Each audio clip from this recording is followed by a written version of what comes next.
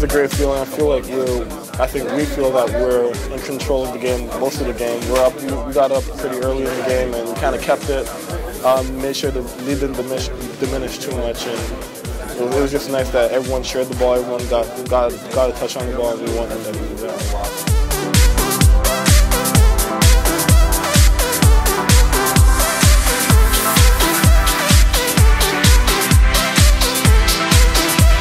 played 12 guys, and at certain points of the game, we had three freshmen on the court, the sophomore, and a guy that doesn't play that many minutes.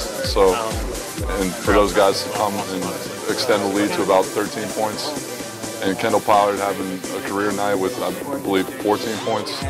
You know, everybody steps up, and that's the thing about this team. You never know whose night it's going to be and who's going to come up big to help the team win. But it was a complete team win tonight, and that's the way we've been doing it all season long.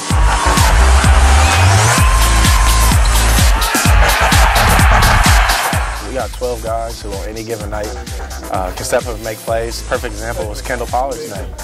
Um, he just, Kendall's just doing what he does every day in practice. You know, it's, it's more based on him getting the opportunity. You know, when he got in there, he took care, he took uh, advantage of his opportunity, and it, you know, it wasn't it wasn't a surprise to us as a team because we know what Kendall's capable of, and um, we know what this whole team is capable of, all 12 guys.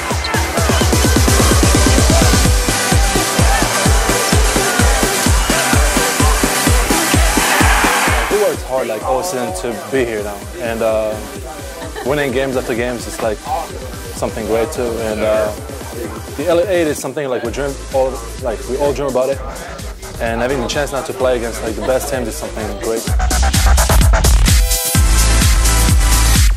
That was amazing, man. Um, to have that many people in there was it was loud.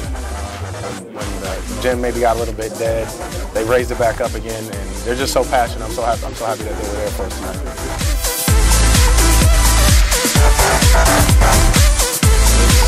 incredible. It's incredible for this group of guys. It's incredible for the city of Dayton, the campus. You know, everyone's been really supporting us these past few weeks, and to give them a moment like this is something that's going to be remembered for a long time.